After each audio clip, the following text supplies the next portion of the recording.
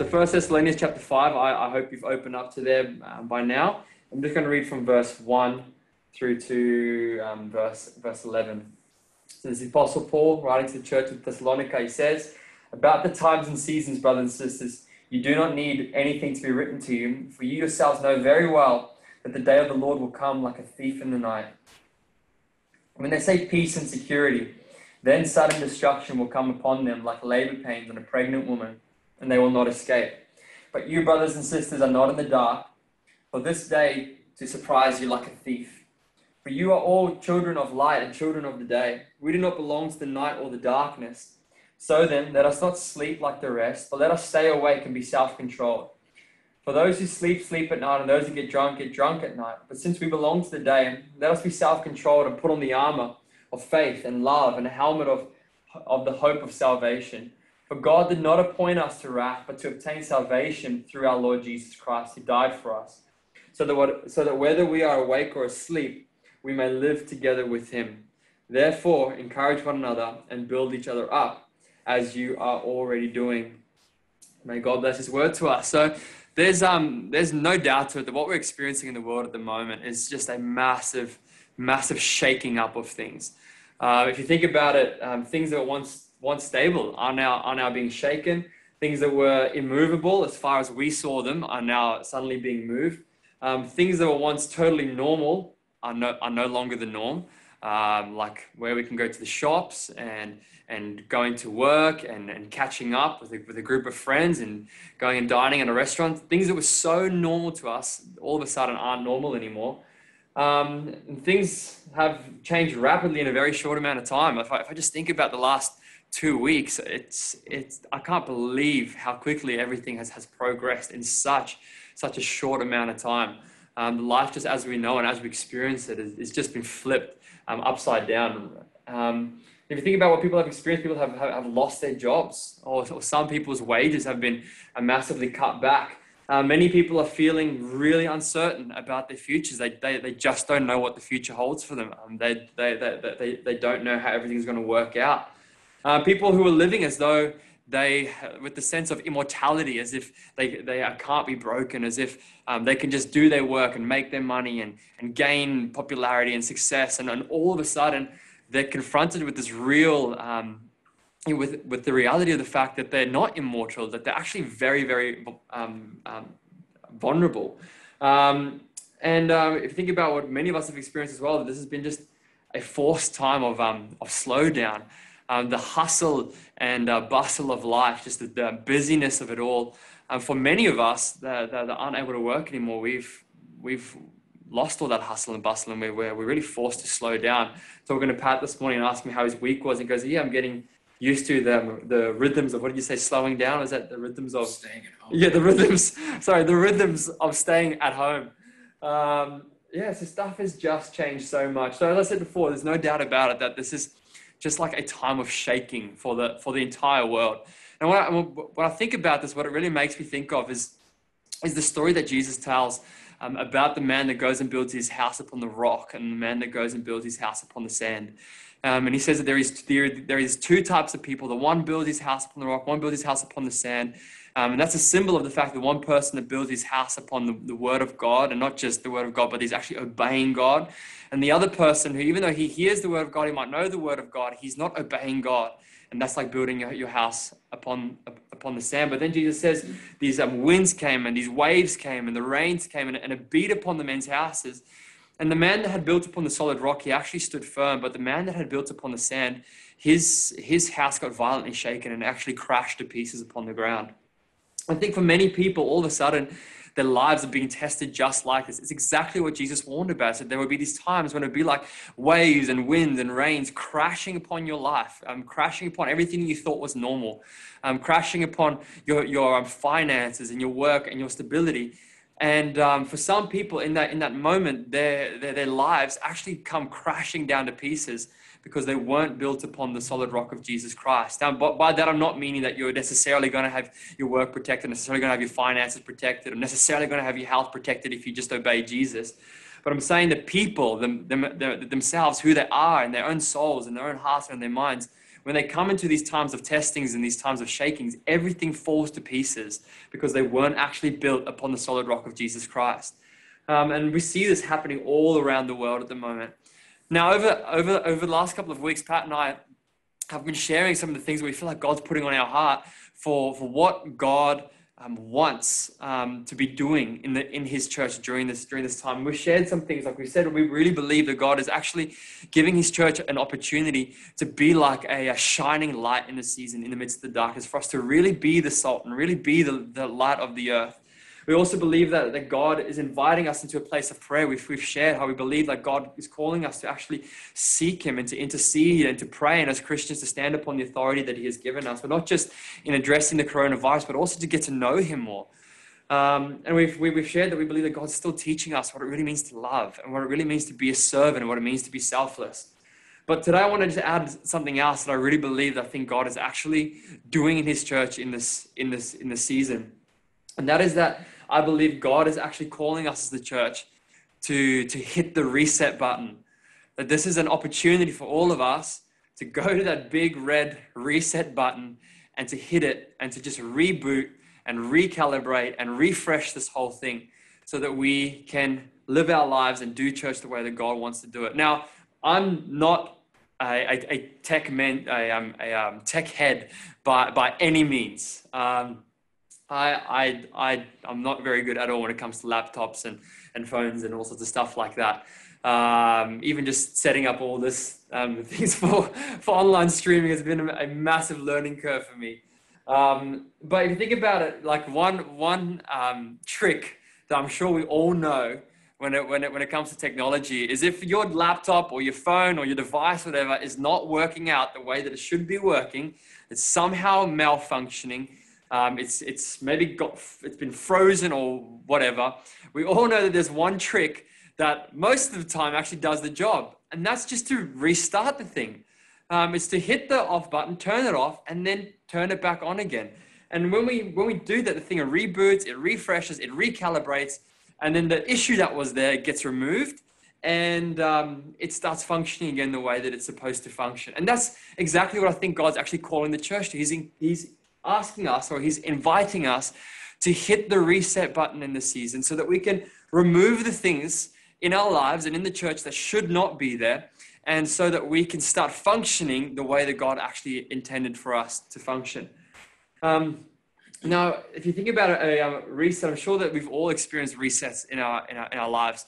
Um, a, a common reset for people is when they take a holiday, as an example. So you've just been working like crazy, you've uh, booked yourself a, a, a, time away in the city or, or at the, or at the, um, Gold Coast or maybe overseas somewhere, and you're just going to spend some time just resting. Uh, maybe you're going to go eat out more than normal you're gonna go and um, maybe spend some more time with your wife and with your with your kid. You're gonna take a book with you, and you're just gonna spend some time reading that that, that book, or maybe you're gonna spend all day surfing. Whatever it is, I'm sure we've all experienced resets like that, where you've just been working like crazy. You seem like you've lost perspective and all the busyness of everything, and then you go away on this break and suddenly everything recalibrates and you can see where maybe you've been failing as a parent where you've been failing as a spouse where you've lost your um, sight of the kingdom, God uses that time like that. I had a, I had a season like that, where I'm um, two weeks like that, that were just massive in my life.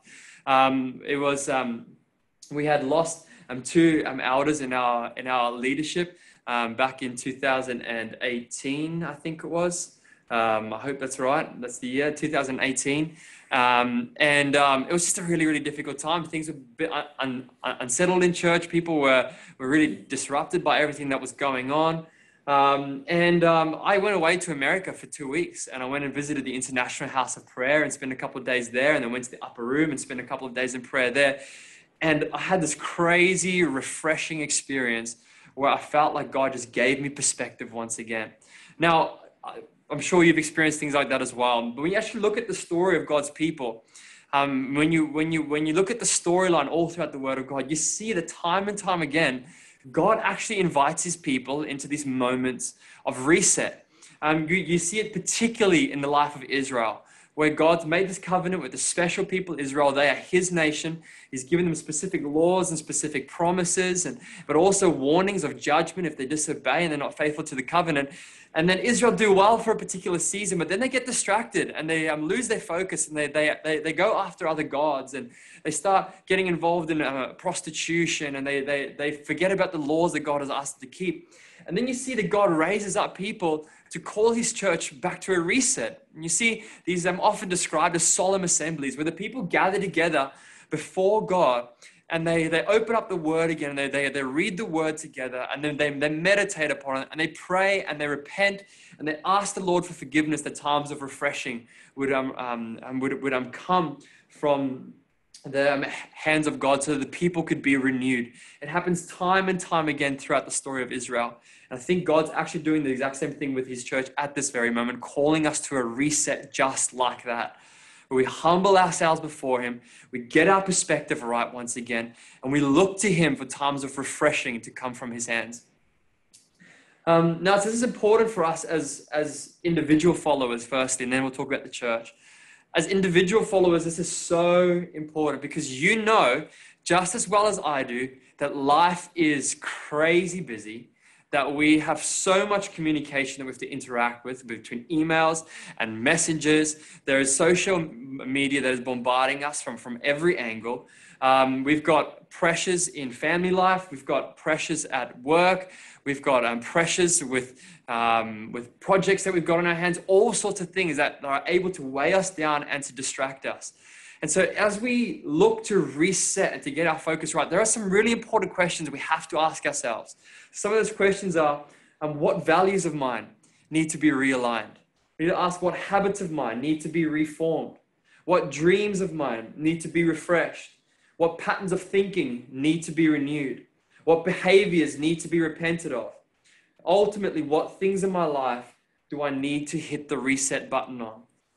So, um, for many of us, is, we're in desperate need of this because we have been distracted, we have tolerated sin, we've begun to chase after money and, and earthly things instead of seeking first the kingdom of God. We've been lazy instead of being self controlled. We've been hoarding instead of being selfless and giving. Um, we've neglected our family on the altar of building our, our careers or, or uh, uh, um, accomplishing something, maybe in studies or, or in popularity, who knows. Um, we've allowed the fire of your, our love to go out for Jesus and to become dull. Or we've allowed busyness to steal our rest. These are just some of the things that I'm sure many of you have experienced. And it's so important that you ask yourself some of these hard questions so that you can properly reset. But it's not only for us as, as um, individuals, but it's also for us as, as the church. And I don't just speak about Gracehouse, just the, the, the um, church in Logan. I think globally, um, given the scale of what is taking place in the face of the earth this very moment, I think globally God is actually calling his church to a reset. And there are some hard things that the, that the, that the church of God needs to ask itself. Um, questions like, are we doing church the way that we, we ought to do church? If you think about how we do church with three songs and a 40 minute sermon and, and people just showing up on a Sunday for an, for an hour and a half to participate in this Sunday experience. Um, is this really what God wants church to look like? Um, um, these are important questions. We have to ask the questions what practices do we have as a church that need to be reformed? So is, are there things that we're doing that have become impure? Is the, is the way that we're preaching the word, has that become impure? Has our, has our worship become tainted with self instead of be, being properly focused on God? Have we decided to be uh, more concerned with events than we've been concerned with actually feeding the poor and um, helping the needy? So, what of our practices need to be reformed? Um, questions such as if Jesus returned today, would he be pleased by how we've structured our ministries, how we run our services, how we love one another, how we reach the lost, how we serve the least of these? Are our values and priorities in the order that they're supposed to be? Do we really believe that we're seeking first the kingdom of God? And ultimately, what things are there in the church that we are in desperate need of hitting the reset button on? And I think in this season, what God wants is to change so much about the heart of His church and how we operate. Um, so, here are some things I think He wants to do. I think He wants to replace um, moral compromise and indifference that we've become so accustomed to moral compromise and indifference with a radical righteousness, with a really radical holiness, that actually puts Jesus on display. And when people look at our lives as the church, it is blatantly obvious that we are totally different. I also think that he wants to replace people treating the Bible like a like a like a fortune cookie. It's just something that we go to at a particular moment to find nice verses that make us feel good. I think he wants to turn that upside down and bring people back to a deep commitment to his word, where people meditate upon his word and they feast upon his word and they allow the word like a two-edged sword to cut them to pieces and to expose the thoughts and the intentions of their hearts. I think God wants to replace our, our pursuit as churches um, where, where, where, where we've pursued fame, we've pursued status, and we've pursued popularity for ourselves to build a name for, for, for our church, whether it's, whether it's Gracehouse or, or, our, or our denomination or whatever it is, where, where people have pursued these things, God, I think God wants to, to turn this around and give people a focus once again on, on discipleship and actually just putting aside the names and the titles and then people living in community with one another where they just want to edify one another, just want to build one another up and, and meet one another's needs. I think that God wants to replace just um, the attendance of church services and the attendance of conferences and events with genuine community. I think He wants to um, replace where we've just been so accustomed to just living things, um, taking things easy and protecting ourselves, where He's going to make us ready to suffer for the name of Jesus, to actually count it as a blessing and as a joy to be persecuted for the sake of Jesus Christ. And I think he's going to take our, um, our, um, our entertainment driven way of doing church, how we're so reliant upon entertainment. And I think he's going to turn that around and restore to his church fervent prayer and regular fasting. These are just some of the things that I genuinely believe God is doing in his church at the moment. I actually had a really interesting dream. I think it's about a week ago now, just, just over a week ago, where I genuinely believe God, God spoke to me about this. And what happened in the dream is I um, went to McDonald's and um, went to McDonald's and I, and I really wanted to have a salad at, at McDonald's. Um, and as I, um, I was telling the, um, the waitress um, that I, I uh, or the person that was serving us, that I want the salad, they, they, they came and offered me two Big Macs instead, totally for free. And um, in the dream, I say, "Yep, yeah, okay, great. I'll um, take the Big Macs because why, why would you not take two Big Macs, if, especially if they're free? Um, and um, I um, eat those Big Macs, and in the dream, I instantly start feeling so sick. Um, my, my stomach's just churning, and everything just feels off, and I knew that was such a bad decision. And then my dream switches, and I go to um, I am I'm suddenly in a, a, massive church, a really, really big church building, and it's packed with people. And I'm really aware that it's coronavirus time. So I'm like, why are all these people here in this church when it's coronavirus time. We shouldn't all be here in this church. But I go and find myself a seat towards the back of the auditorium. And um, I'm watching the whole church service unfold. I'm watching the people on the stage as a full band and worship is going, but nothing is working. Um, everything is sounding terrible. The musicians are playing out of time with one another. Um, everything is just clumsy up on the stage, and it's just so obvious to everyone that the service isn't working. And then suddenly I see this character show up in the midst of the congregation, um, and he looks just like Bono from U2. And, um, and he's got this really fancy jacket on that's, that's all glittery and um, shiny. He's got a microphone in his hand. He's dancing around amongst the people singing and obviously drawing attention to himself. And he makes his way up on the stage and he's dancing and he's singing up on the stage. He finishes his song and he starts making his way off the stage. And as he does, he actually trips and falls over and really badly hurts himself. Um, and I'm watching this whole thing unfold, and then suddenly I see church leadership from that church. Um, um, get on there, um, um, like get down on the ground, and they start commando crawling over to where Bono is lying on the ground. And they grab him by the shirt and they try to drag him off to the side, hoping that no one will see them dragging the person off, off to the side. And um, I, when I woke up from the, the, the um, dream, I, I, woke up instantly knowing what, what, what this dream meant there was one part that Pat helped me to make to make sense of. I think this is what what, what God was speaking to me. He was saying that um, we, like the church, um, have become so um, fixated on performance. Um, we've we've we've we've turned church into a into a performance and how the music is done and how the preaching is done and and um, and um, how we meet with one another. It's all so gravitating towards performance because people are, are hungry for entertainment. They want to be entertained. They want to be entertained. And so, as the church, we started catering to that. But what's happening is that in this coronavirus time, um, God is going to actually bring all of that down. He's actually going to cause it to fall. So in the dream where this Bono person that represents this performance way of doing church, where he falls over, I think that means that God's actually going to bring about the collapse of this performance mentality within his within his church. But I think many people in our lead, um, church leaders aren't going to be happy about it. And just like what I saw in my dream, they try to crawl over and grab grab um, um, Bono and drag him off so that no one could notice. I think there are going to be leaders that try and do exactly that. They're going to try and resist what God's doing and do things the way that we had have been doing it for so long.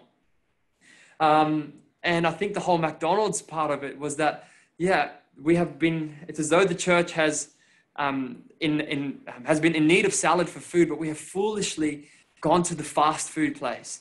We've um, gone to the place that just gives you a quick and easy meal um, that's going to taste good, but it's not actually good for you. We've gone and sought food there, and that's that performance way of doing church. Um, um, and in feasting upon it, even though it's been free and it's been so easy, it has actually made us sick. And so I really believe that, that God is going to be changing this within his church during the season. When we actually come out of the season, not just Gracehouse, but the church in Australia and across the world is actually going to look very different because God's going to use this season to teach us some really important lessons and to strip us of things that aren't pleasing in his sight. But yeah, so what does all of this have to do with First Thessalonians? Um, well, I, I wanted to take us to First Thessalonians because I think it fits in with what I'm talking about when it comes to resetting. Um, and so what I'd like to do is just read verses 1 to verse 3 and then let's, then let's un, unpack a little bit. Verse 1 to verse 3, 1 Thessalonians chapter 5. About the times and seasons, brothers and sisters, you do not need anything to be written to you, for you yourselves know very well that the day of the Lord will come just like a thief in the night. When they say peace and security, then sudden destruction will come upon them, like labor pains on a pregnant woman and they will not escape. Now, a couple weeks ago, I preached a sermon on um, revival purity. And when God really moves in His Spirit, yes, there's signs and wonders, and yes, there's masses of people getting saved, and yes, the, the, the kingdom of God moves rapidly. All those things are so exciting. But one of the big things that God does in, in revival is He actually purifies His church. Um, and in that, that, that sermon, I was saying that I think what is so desperate, and what, what God's doing is that He's teaching us, or in, in, in revival, He will teach us to live in light of the judgment seat. He will cause us to fix our eyes on the fact that Jesus Christ is coming back really soon and He's coming back for a pure bride. He's not coming back for a, a, um, a bride that is, that is um, sleeping around with foreign lovers. And He's not coming back for a, a bride that has um, uh, gone and defiled herself with the things of the world. He's coming back for a pure bride. Jesus is cleansing his bride. Now the time for judgment has begun, and that judgment is cleansing the church of Jesus. And so in revival, God does that in incredible ways. And so I think what is happening is even during this season already, even as we in, in this coronavirus season, there is a form of reviving already taking place um, in the in the church. And what is happening is that God is teaching His people to live their lives and to do church in view of the day of the Lord, in view of the judgment seat, in view of the fact that Jesus Christ is coming back soon and they need to get their lives clean and they need to be right with Him. So, here, verse 1, um, um, Paul says to the Thessalonians, he says, verse 2 For you yourselves know very well that the day of the Lord will come just like a thief in the night. Now, what is the day of the Lord? Well, the day of the Lord is the day when Jesus comes back and all things will be judged. Now, for the for the for the rebellious person, this day is the day um, that will mean eternal destruction, where they have refused to bow the knee to Jesus. They refused to call upon him as Lord. They have continued to live their lives in sin. Um, and, um, and at that moment, Jesus Christ will, will, will, will, judge them for what they have done. And he will remove them from the face of the earth um, and send them off to eternal destruction. And for the Christian, this day means two things. The first thing that this day means for the Christian is that it'll be the day where our works are tested and everything will be weighed up in the balance. And God will see, um, he, will, he will reveal whether we have been faithful or not. He will, he will test everything about us. And it will be made abundantly clear whether we love the way that Jesus loved, whether we, we serve God with a, genuine heart, whether we actually sought first the kingdom of not, uh, um, the um, kingdom or not. And then in that moment, God will assign to each of us a reward according to our faithfulness. Um, so that's the first thing that it means for us, the Christian. But the second thing it means for us is that that day will be the day when the new creation begins in all of its glory, in all of its fullness. and all sickness and suffering and death will be totally removed. Now, what does COVID 19 have to do with the, with, the, with the day of the Lord? Now, you might have heard some people on, on Facebook saying that, oh, this is definitely the end times. This is, this is guaranteed that Jesus is coming back in our generation. Jesus Christ, prophet, um, we, are, we, are, we are told in God's word that in the end times there will be earthquakes and, and the rumors of wars and the spreading of plagues. And so, um, of course, this is, what, this is what we're in. Now, I'm not one of those people that that's going to start claiming things like that. Um, I, it, in some ways, it fits the bill. Yes, the Bible does say that there will be spreading of plagues, and yeah, there is a great plague spreading across the face of the earth. So maybe, but to be honest with you, I don't, I don't know. But what I think God does want for us, um, even though we don't know whether, whether this is the end time or not, or whether this is the generation when Jesus is going to come back, it's exactly moments like this when we do experience um, a, a, fam, uh, a, um, a, plague like this, or in other situations when we do experience war, when we do see famines, or, or when, we, when, when we do hear of great natural disasters, where God wants us to hit the reset button, where He wants us to look at our own lives and go, wow, in light of everything that's coming, that's taking place at the moment, and in view of what the Word of God tells me about what it's going to be like when Jesus comes back, I need to think about my life and make sure that I'm actually ready for the day when Jesus Christ returns. Now, this is what Paul's getting at here in this, in, in this, in this passage, and he's, he wants the church to be ready. Um, um, and he um, wants the non-Christian to be, to, be, to be ready. So the non-Christian needs to repent to get right with Jesus. And the church needs to purify herself and make sure that she's fully alive and awake. So he says here, the, the first um, image that he gives us, says that this day when Jesus Christ returns will be like a thief coming in the, in the middle of the night. And um, um, so, what does that mean? That Jesus will come like a thief in the middle of the night? Well, it means at least two things. It means that it will be sudden and it will be unexpected. So, Jesus says the same thing in, in, in Matthew 24, verse, verse 42 to verse um, 44. He says, Therefore, be alert. says, Since you don't know what day your Lord is coming, but know this if the homeowner had known what time the thief was coming, he would have stayed alert and not let his house be broken into. This is why you are, you are also to be ready because the Son of Man is coming at an hour you do not expect. Now, recently, I think it was um, last year, sometime on um, the back end of last year, um, just at the Hyperdome, uh, there was a um, car that, um, that um, drove through a um, window at the Hyperdome and drove into the Hyperdome, then went and drove through the glass at the Prouds um, jewelry shop and they stole thousands of dollars worth of worth of um, jewelry. They got away with it, and then actually went and burnt their car in Shailer Park. Um, now you think about that. These thieves that came in the middle of the night. I think they came like 2 a.m. or something like that. If the Hyperdome had known that the thieves were going to come at that exact moment, I'm certain they would have put um, more security guards on, or maybe they would have called the, the um, cops. They would have made some sort of preparation in order to brace themselves for the fact that they knew that there was going to be an attempted robbery at that moment. Now, Jesus is saying that since we don't know the moment he's going to return, and Paul is saying the same thing, we don't know the moment Jesus is going to return because he's coming like a thief in the night. It's going to be sudden and unexpected. Therefore, what we have to do is always be ready.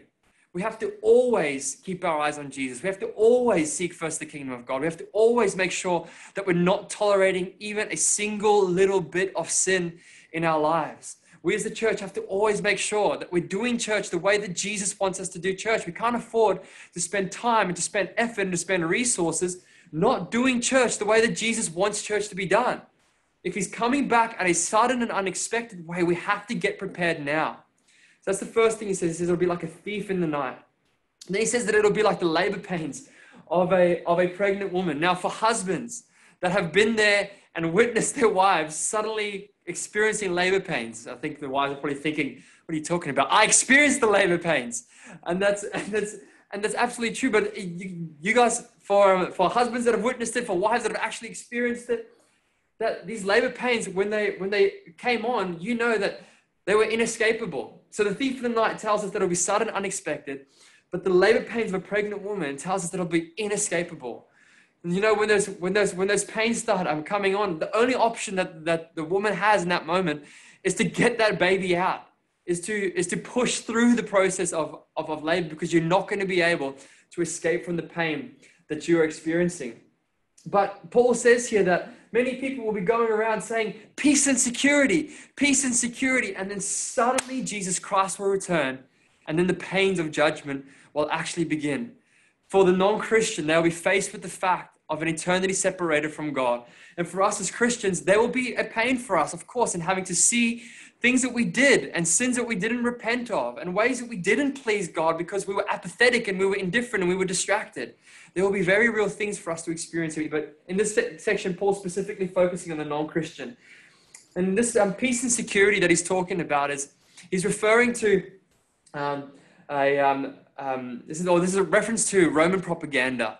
Um, you might have heard of the Pax Romana, to the, um, uh, of the Roman peace this was something that they would inscribe on on their coins, and they would inscribe it um, on official inscriptions and, and, monuments, and it would promote this idea of um, peace, and attached that was security because of the greatness of Rome. Um, and so here are all these people putting their confidence in a political system or putting their confidence in an, in an empire or in a society or in a culture that we have the society of peace and we have the society of security. And does that not sound like the West? Like, does that not sound like Australia or like, or like America or the way that we think as countries? It's, it's peace and security. It's so good. It's so easy. Life is so stable. It's so straightforward. We can make our money. We can earn our living. Everything is so nice for us and set up for us. And we've got a government that takes care of us and we have Medicare. All these things set up for us. It's peace and security. And Paul says that people will be talking like this. And then suddenly, Jesus Christ will return and the, um, the, the, the pains of labor will come upon people and it'll be inescapable. And so, what should we do? We have to be ready.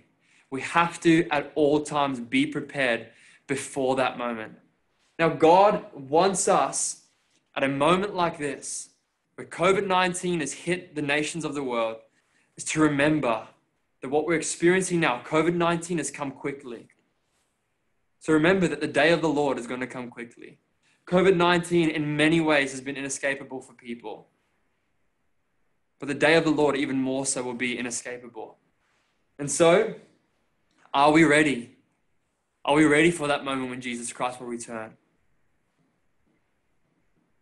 Now, Jonathan Edwards, he was a um, great theologian in the um, 1700s in America and played a massive role actually in um, revivals that, that swept through America in the Great Awakening. Now, some of you might have read his um, resolutions before, but he's got two resolutions on this exact point that I think are so pertinent.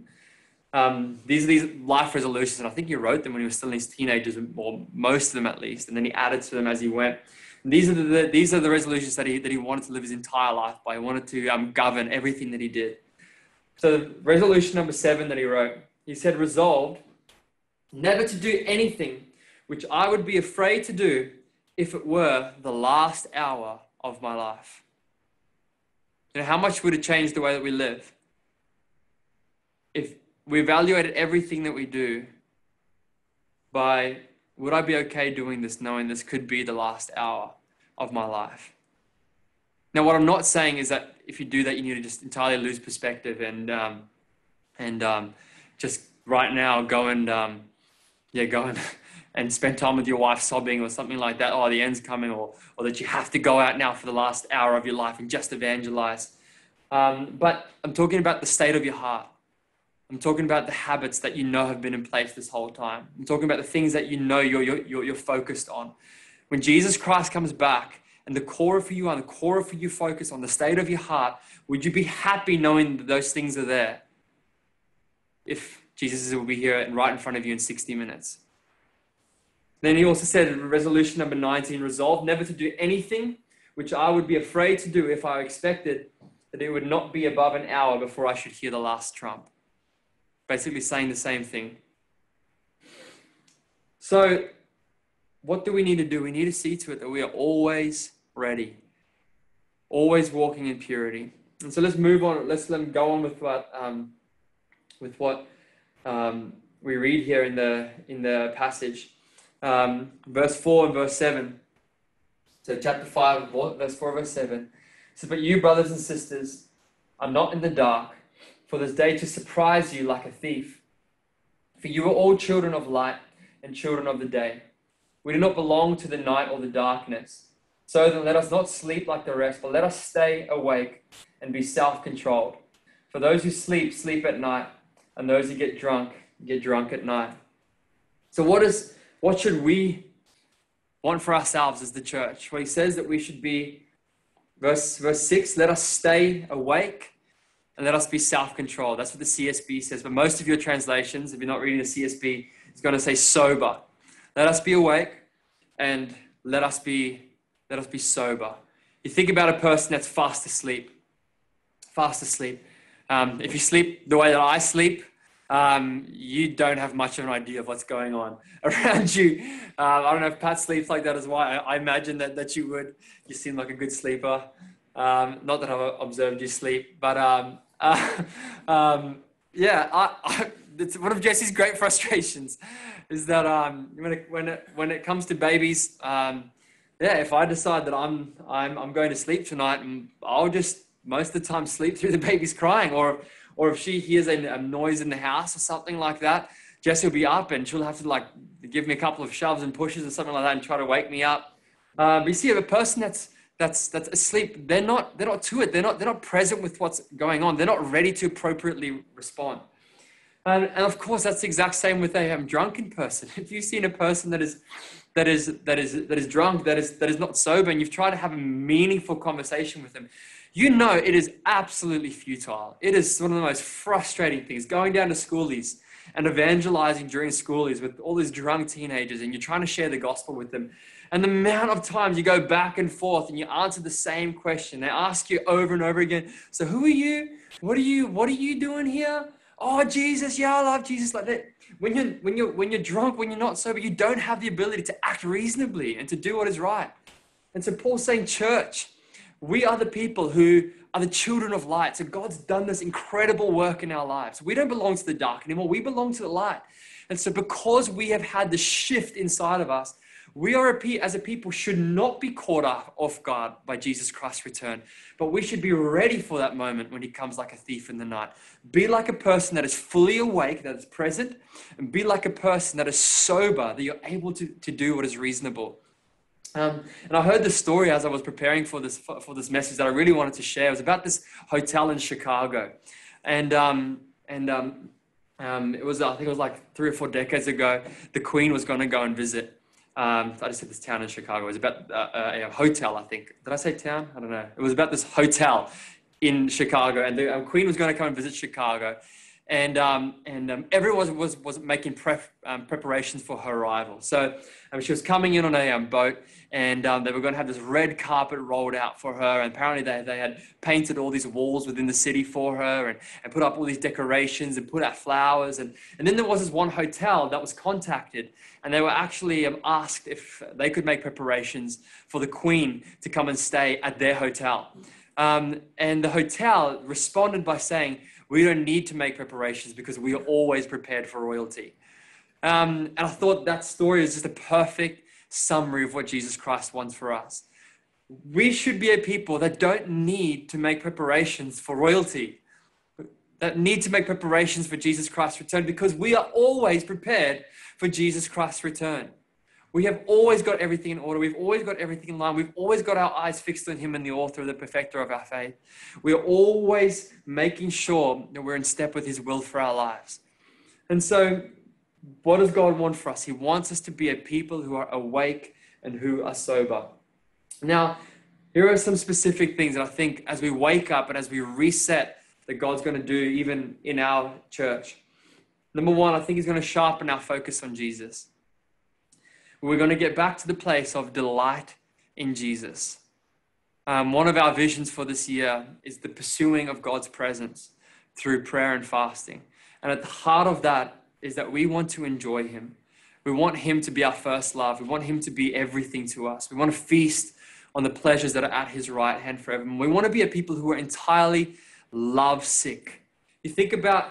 Um, you think about the passion of a, of, a, of, a, of a married couple the intimacy that they get to experience with, with one another, this, this, this intoxicating love.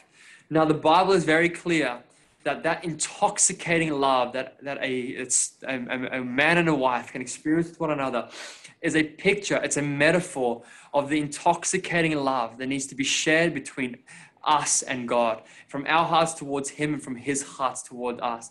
You see that in the Song of Solomon, this incredible picture of God that is like this love sick, um, this um, love lover that is, that is pursuing His bride, and the bride that is just responding to the pursuit of her lover's love. And um, that's what God wants. And He wants to bring us back to that place where we will sharpen our focus. And Paul warns, he says, My fear for you, and um, when he writes to the Corinthians, is that, that Satan will come and he would, he would pull you away, he would distract you from a sincere and pure devotion to Jesus, just like he did with Eve in the garden. Also, think he wants to sharpen our focus on purity, like I've already mentioned for us to get serious about walking in holiness, to have a no tolerance attitude when it comes to sin, to humble ourselves before God and to mourn and to weep when we need to mourn and weep, so that He can exalt us and lift us back on our feet again. Third is, I think, wants to sharpen our focus on the mission, get back to the place of hurting over souls that don't know Jesus. He wants to sharpen our focus on the value of the kingdom. And on this point, particularly, I think where we've so been caught up in hurrying and striving and trying to do ministry and, and, and striving in our workplace and, and, and um, just continually communicating and being busy and busy and busy and busy and busy and busy. There are some real kingdom values that he's going to restore to his church, like stewardship. Kingdom values like, like patience. Kingdom values like friendship and family, where these things are enjoyed and they're celebrated and they are prioritized above the busyness and the rush and the craziness of everything that we experience in society. I have already experienced this even just in this week. I didn't even realize that I, that I, I needed to sharpen my focus on God's kingdom values. Um, yeah, even just Monday, starting down, I'm um, starting in um, just being at, at, at home, and we got, got to about halfway through the day, and um, I suddenly felt like I caught breath again, and I didn't even know why because I didn't realize that I was puffed out. But just slowing down that little bit and being with the kids and being with my wife and um, and um, just changing that pace. Suddenly, I realized, oh my goodness, I did it again. I fell for the trap of busyness, and I actually, in doing so, stopped enjoying Jesus the way that I that I ought to have been, and I and I lost focus of the, the countless good gifts that God has surrounded my life with that He wants me to enjoy. I think God's going to be using this season to really um, sharpen our focus on some of those things. So let's just finish reading here, verse 8 to verse 11. He says, But since we belong to the day, let us be self controlled and put on the, the armor of faith and love, and the helmet of the hope of salvation. For God did not appoint us to wrath, but to obtain salvation through our Lord Jesus Christ, who died for us. So that whether we are awake or asleep, so that's talking about people that are still alive, people that have died, we may live together with him. Therefore, encourage one another and build each other up as you're already doing. So, Paul gives there some very specific applications for things that people need to change in their lives and focus their lives on as they live as people that are really awake. Um, but if you read some of the other passages in Romans 13, he gives different points of application. Um, and, and, other passages where he, where in like Revelation, for example, where the church is commanded to wake up, God gives different application. But you see at the heart of it, at the, the heart of all these passages, there is this, there is this common denominator, and that is that God is calling his church, when he's asked them to wake up, is to reset and to get focused on what really matters. So I want to put it to you this um, morning that God is doing this in the season. I genuinely believe it. I've already experienced it. I've heard others testify to it. Um, and I want to put it to you this morning and say that God is inviting you to reset. He's inviting you to hit that button and to refresh and to reboot and to recalibrate and to make sure that your priorities are in order, that you are focused on Jesus Christ, that you are seeking first his kingdom, that you have a no tolerance attitude towards sin. So much so that Jesus Christ could return this very moment and you would be absolutely ready and excited for that moment instead of someone that feels like they still have something to hide or something that has not been properly dealt with. So that's for you personally. And then also for us as a church, I want to ask you to please pray. I want to ask you to, to plead with God to, to teach us as a church how He wants us to reset. I am personally, I know for Pat as well, that we do not want to be doing church in a way that is not the way that Jesus Christ intended for church to be done. We want to preach the word the way that He wants the word to be preached. We want discipleship to be prioritized the way that He wants discipleship to be prioritized. We want community to take precedent, precedence over events and over performance. We want um, the kingdom to matter more and the broader church body to matter more than us just making a name for ourselves. And we're sure there are more things that we're not even aware of yet that God is saying, I need you to reset on this and to recalibrate and to get your focus right as a church. So I want to invite you, however long the season lasts that we're in, whether it's going to be another three months or another six months or another year, as God gives us an opportunity to slow down and to get away from the distraction, press into Him for the sake of your own life and press into Him for the sake of our church and ask Him to renew things and to do in our midst what He needs to do. Who knows? But this might actually be this revival that we've been anticipating, what God is actually going to do in the midst of a situation like this. Or maybe this is going to be the moment when He prepares us for a great outpouring of His Spirit that, that, that, that's going to come after all of this. And this whole season was like preparing the way of the Lord so that Jesus could come riding in on His glory. So please um, receive these words as, as, as, as good soil. Don't go from here today and let Satan snatch it up or let the things of this world choke it out, let the sun scorch it and burn it up. Receive it like a good soil. Let it go down deep in your heart. And even this very day, go and spend time in prayer. Even this week, make sure that you're pressing in and ask God to reset your life. I'm sure you'll see Him do some really exciting things.